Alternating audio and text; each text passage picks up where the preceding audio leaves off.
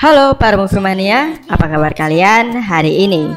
Semoga kalian dalam keadaan yang baik-baik saja ya. Pada kesempatan kali ini, Mimin akan kembali menyuguhkan kepada kalian semua sebuah alur cerita dari salah satu drama Korea yang menurut Mimin wajib banget buat kalian simak, terutama bagi kalian para pecinta genre komedi romantik. Drama yang akan Mimin bawakan kali ini berjudul My Strange Hero. My Strange Hero adalah seri televisi Korea Selatan yang dirilis pada tahun 2018. Drama ini dibintangi oleh Yoo Sung Ho, Jo Bo Ah, dan juga Kwak Dong Yoon. Serial ini berkisah tentang seorang siswa bernama Kang Boksu yang diperankan oleh Yoo Sung Ho yang diusir setelah dituduh melakukan kekerasan terhadap siswa lain. Bertahun-tahun kemudian, ia kembali ke sekolahnya sebagai orang dewasa dan mencoba untuk membalas dendam pada dirinya sendiri. So, bagaimanakah kisah selengkapnya? Mari kita simak narasi berikut ini. Film diawali dengan memperlihatkan seorang pria berseragam merah sedang mengendarai motornya dan menuju ke suatu tempat. Rupanya pria tersebut menuju ke sebuah gedung pernikahan. Di sisi lain terdapat seorang wanita yang juga akan menghadiri sebuah pernikahan. Dia adalah Son Sujung, seorang guru kontrak di SMA Solsong. Dia datang ke acara pernikahan atasannya bertujuan untuk mendapatkan impresi dan berharap agar dia diangkat menjadi guru tetap di sekolahannya. Namun sayang, harapan Son Sujung sirna setelah mengetahui kalau rupanya pihak sekolah telah memutuskan untuk merekrut orang dari luar untuk menggantikan posisi Son Sujung setelah kontraknya habis nanti.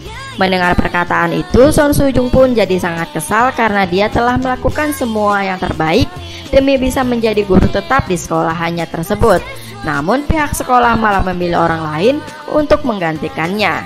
Sementara itu, kita kembali kepada pria yang di awal kita lihat tadi.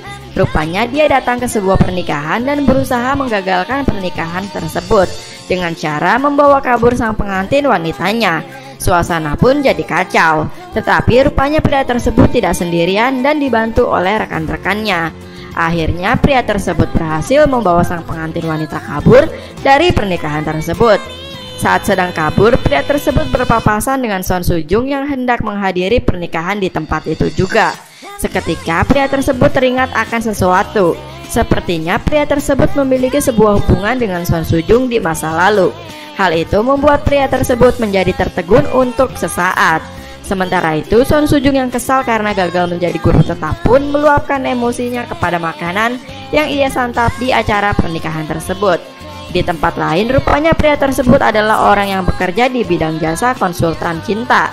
Dia bersama teman-temannya dibayar untuk menolong orang dari permasalahan cintanya termasuk pengantin wanita ini yang membayar pria ini dan kawan-kawannya untuk menggagalkan pernikahannya.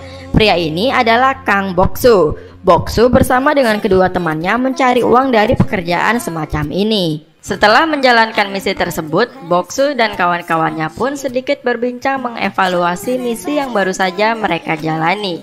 Sampai akhirnya tiba-tiba mereka hampir saja menabrak rombongan anak SMA yang menyeberang secara mendadak. Namun melihat anak-anak SMA tersebut, Kang Boksu jadi kembali tertegun karena ia sepertinya jadi teringat akan sesuatu di masa lalunya. Hal itu tampak membuat Kang Boksu jadi sedih. Sampai akhirnya kita langsung dibawa flashback ke masa saat Kang Boksu masih SMA, tepatnya pada tahun 2009. Pada saat itu, Kang Boksu adalah seorang siswa yang cukup bandel saat berangkat sekolah, bukannya sekolah, ia bersama kawannya justru membolos dengan cara melompat dari pagar sekolah. Namun sial, Kang Boksu dan kawannya ternyata ketahuan oleh guru yang memergoki mereka akan membolos. Seketika mereka pun dihukum oleh Pak Guru untuk berjalan jongkok mengelilingi lapangan sekolah. Karena celana mereka terlalu ketat, celana mereka pun jadi sobek saat menjalankan hukuman. Meski begitu, Kang Boksu adalah murid yang tampan. Salah satu teman wanita mereka tetap memberikan semangat kepada Kang Boksu. Rupanya Kang Boksu dulunya merupakan murid di SMA Solsong. Seusai menjalani hukuman, Boksu dan kawannya pun masuk kelas. Dan di sana rupanya Boksu satu kelas bersama dengan Son Sujung yang ternyata dahulu mereka adalah teman satu kelas. Hmm, pantas saja tadi si Boksu sempat tertegun saat berpapasan dengan Son Sujung, bro. Oke lanjut. Son Sujung ternyata adalah seorang ketua kelas yang cantik, baik dan juga sangat pintar. Hal itu membuat teman Boksu jadi terkesima kepada Son Sujung. Meski begitu, Kang Boksu tetap merasa sok cool dengan bilang kalau Son Sujung adalah gadis yang biasa-biasa saja. Sampai akhirnya Pak Guru datang dan membagikan hasil tes seluruh siswa. Orang yang mendapat nilai tertinggi tentu saja Son Sujung. Sementara yang mendapat nilai terendah adalah Kang Boksu. Hal itu menjadi bahan tertawaan teman satu ruangan. Karena hal itu, Pak Guru mengelompokkan setiap anak berpasang-pasangan. Anak yang paling bodoh akan dipasangkan dengan anak yang paling pintar agar bisa membantu nilai temannya. Itu artinya, Kang Boksu akan dipasangkan dengan Son Sujung. Dan nantinya teman yang bisa membuat temannya mengalami peningkatan nilai akan mendapat nilai tambahan dari Pak Guru. Son Sujung yang merupakan anak yang sangat ambisius pun jadi bertekad akan membuat Kang Boksu mendapatkan kenaikan nilai. Minji yang merupakan gadis yang suka kepada Boksu jadi cemburu melihat Boksu berpasangan dengan Son Sujung. Dia jadi meminta dipasangkan dengan Boksu juga. Namun berhubung Minji juga murid yang bodoh dan nilainya sangat buruk, Pak Guru pun tidak mengizinkan Minji bersama dengan Boksu. Karena itu artinya sama saja dengan bunuh diri dan hal itu pun jadi bahan tertawaan teman-teman lainnya. Setelah itu, Son Sujung pun segera mendatangi Boksu dan memohon untuk kerjasamanya. Tak lupa Son Sujung juga meminta jadwal Boksu untuk belajar bersama. Akan tetapi Boksu seakan acuh tak acuh dan tak memperdulikan Son Sujung. Meski begitu, Son Sujung masih berusaha bersikap ramah meskipun dia merasa sangat kesal. Hari-hari berikutnya, Son Sujung terus berusaha mengajak Boksu untuk belajar bersama. Tapi Boksu tetap saja menghindar dan selalu mencari-cari alasan. Hal itu sampai-sampai membuat Son Sujung menjadi sangat stres dan marah. Son Sujung yang marah pun mengajak Boksu untuk berbicara di luar. Di sana Son Sujung memaki-maki Kang Boksu dan memarahinya karena selalu tidak mau diajak belajar bersama. Son Sujung mengatakan kalau dirinya tidak mau mendapat nilai yang kurang bagus hanya karena seorang pria bodoh macam Kang Boksu.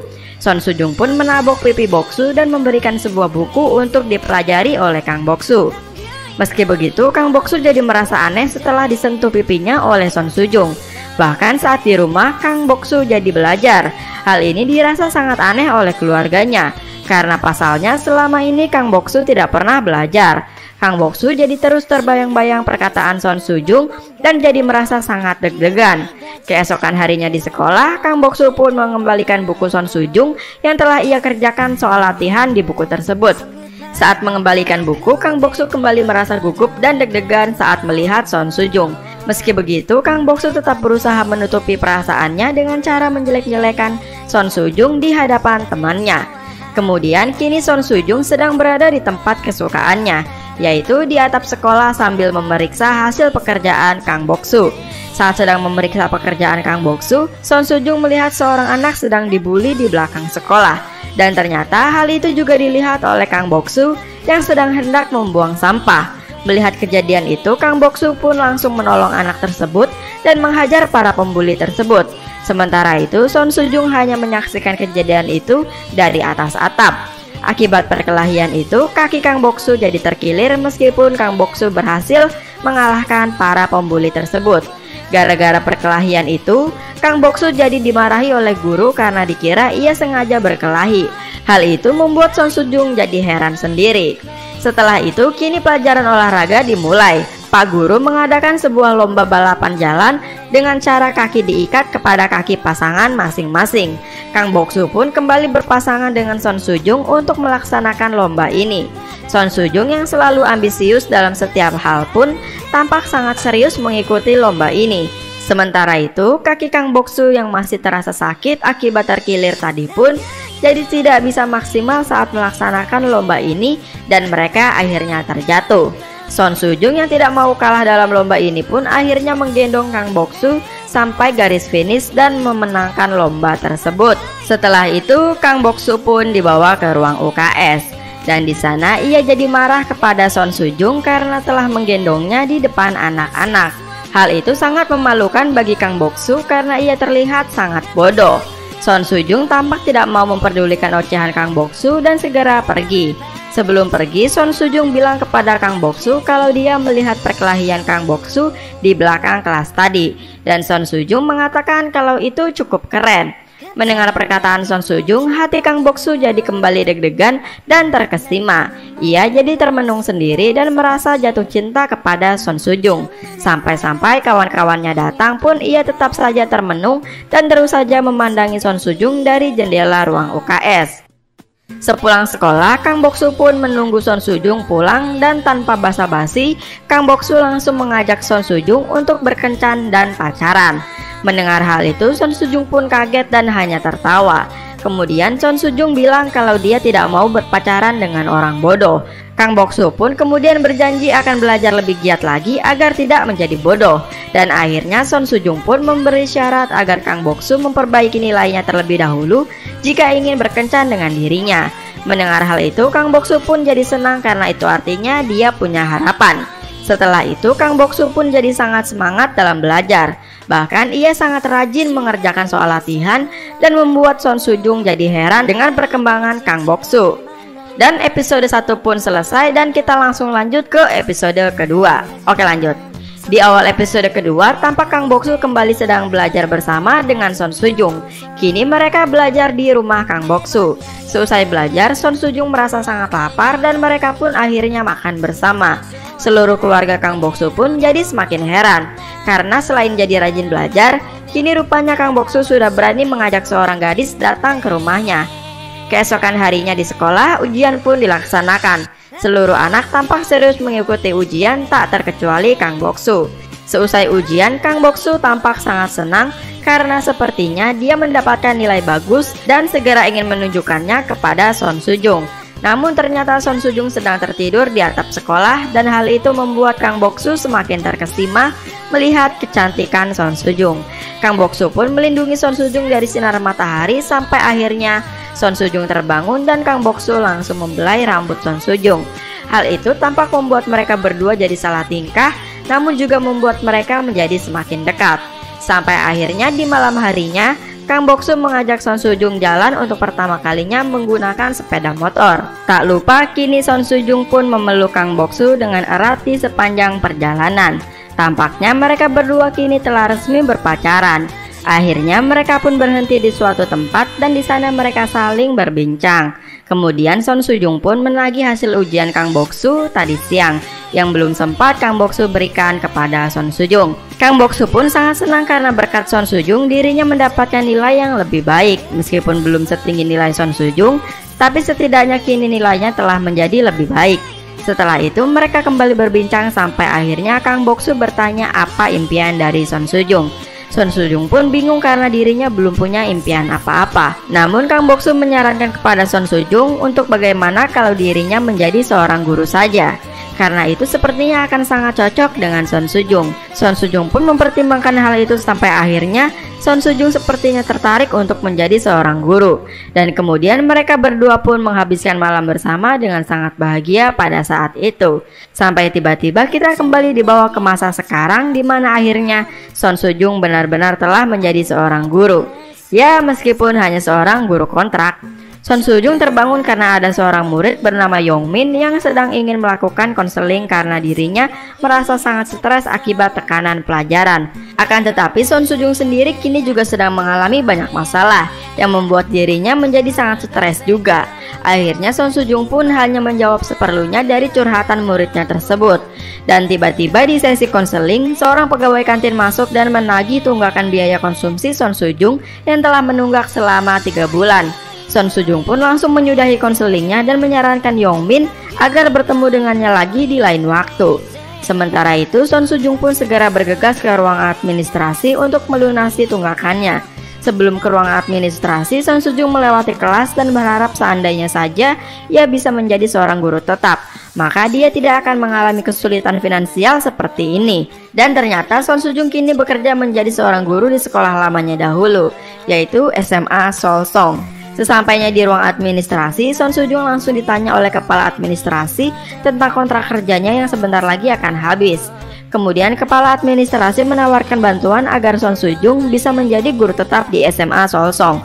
Namun Son Sujung harus membayar uang sebesar 50.000 won karena kepala administrasi mengaku bahwa dirinya adalah saudara pemilik sekolah. Son Sujung pun kaget dan tentu saja menolak tawaran tersebut. Son Sujung pun mengancam akan melaporkan hal ini kepada polisi. Namun kepala administrasi balik meledek nasib yang kini sedang dialami oleh Son Sujung. Sepulang dari pertemuan itu, Son Sujung mampir ke panti jompo tempat neneknya dirawat. Di sana ia curhat mengenai permasalahan yang kini sedang ia hadapi, termasuk masalah finansial dan juga pekerjaannya. Di saat itu, ia jadi teringat akan Kang Boksu dan juga atasannya yang mengatakan kalau Son Sujung tidak akan diangkat menjadi guru tetap. Son Sujung pun merasa sangat bingung dengan hidupnya kini. Sampai akhirnya saat Son Sujung pulang ke rumah, ia akhirnya memutuskan untuk menggunakan uang seluruh tabungannya untuk membayar kepala administrasi agar dirinya bisa menjadi seorang guru tetap. Meskipun dia sangat bimbang akan hal itu. Keesokan harinya, Son Sujung merasa senang karena telah membayar sejumlah uang kepada kepala administrasi dan mengira kini dirinya telah bisa menjadi seorang guru tetap. Akan tetapi harapan itu sirna seketika ketika seluruh staf di kantor guru memberitahukan jikalau kepala administrasi telah kabur dari sekolah dan membawa semua uang administrasi para murid. Mendengar hal itu, Son Sujung pun seakan tersambar petir di siang hari karena Son Sujung telah membayarkan semua uangnya kepada orang tersebut. Berulang kali Son Sujung berusaha menghubungi si kepala administrasi tersebut, namun tetap saja tidak ada hasil. Hal itu membuat Son Sujung semakin stres. Karena stres, Son Sujung pun jadi semakin murung. Bahkan ia tidak memperdulikan murid bimbingan konselingnya yang bernama Yongmin. Karena merasa semakin stres dan tidak ada orang yang bisa membantu, akhirnya Yongmin pun merasa ingin bunuh diri saja. Sebelum itu, ia menulis status terakhirnya sebagai pesan terakhir. Di status itu, Yongmin mengungkapkan semua unek-uneknya tentang kesetresannya di sekolah, mulai dari tekanan pelajaran sampai perlakuan para guru yang acuh tak acuh. Setelah menulis status itu, Yongmin rupanya menghilang dan hal itu membuat seluruh sekolah jadi geger karena orang tua Yongmin melaporkan kejadian ini kepada pihak berwajib. Dan lagi berita ini juga rupanya menjadi berita yang viral di seluruh Korea. Hal ini tentu saja membuat seluruh pihak sekolah menjadi sangat panik, termasuk Son Sujung yang kemudian mencari Yongmin ke mana-mana. Setelah mencari ke mana-mana, Yongmin tiba-tiba mengirim pesan kepada Son Sujung dan mengatakan kalau dirinya ingin bunuh diri. Son Sujung pun bertanya di mana keberadaan Yongmin dan langsung bergegas mendatangi lokasi Yongmin. Son Sujung pun mendatangi Yongmin yang kini berada di tepi jembatan untuk bersiap bunuh diri. Sesampainya di tepi jembatan, Son Sujung bukannya membujuk Yongmin untuk membatalkan niatnya untuk bunuh diri, Son Sujung justru mengajak Yongmin untuk melakukan bunuh diri bersama-sama. Karena Son Sujung juga sangat stres menghadapi masalah hidupnya. Dan singkat cerita, setelah segala perdebatan di tepi jembatan tersebut, Yongmin jadi malah mengurungkan niatnya untuk bunuh diri dan meminta maaf kepada ibu guru Son Sujung. Namun karena Son Sujung menaruh ponselnya di pagar jembatan, saat mendapat panggilan, ponsel Son Sujung jadi bergetar dan hendak terjatuh. Karena refleks, Son Sujung pun dengan sigap mencoba menangkap ponselnya yang terjatuh. Namun sayang, hal itu membuat Son Sujung jadi terjatuh dari jembatan akan tetapi masih sempat ditangkap oleh Yongmin. Di tempat lain terlihat Kang Boksu sedang kembali menjalankan pekerjaannya. Kali ini dia mendapat tugas untuk menyampaikan pesan pemutusan hubungan dengan seorang wanita. Di sisi lain, Yongmin rupanya semakin lama semakin tak tahan menahan Son Sujung. Dan akhirnya mereka berdua pun terjatuh bersama dari atas jembatan ke dasar sungai. Hal itu ternyata dilihat oleh seluruh orang yang ada di tepi sungai, termasuk Kang Boksu dan wanita yang tadi ia putuskan hubungannya. Melihat kejadian itu, tak ada satu orang pun yang mau menolong Son Sujung dan Yongmin. Mereka hanya ribut di pinggir sungai, termasuk Kang Boksu. Wanita yang tadi melihat hal itu pun menyuruh Kang Boksu untuk menolong mereka. Namun Kang Boksu menolak karena ia hanya akan melakukan sesuatu hanya jika ia dibayar. Mendengar hal itu, wanita tadi pun bilang kalau dia akan membayar Kang Boksu untuk menolong Son Sujung dan Yongmin. Tahu dirinya akan dibayar, Kang Boksu pun segera melompat ke sungai dan segera menolong mereka. Di sisi lain, Son Sujung yang tidak bisa berenang pun semakin lama semakin tenggelam ke dalam sungai. Di saat-saat kritisnya, Son Sujung jadi teringat akan sosok Kang Boksu yang semakin lama semakin mendekati kepadanya. Karena yang menolongnya memanglah Kang Boksu. Kang Boksu yang berhasil meraih Son Sujung pun dengan segera membawa Son Sujung berenang ke permukaan dan film pun langsung bersambung. Nah,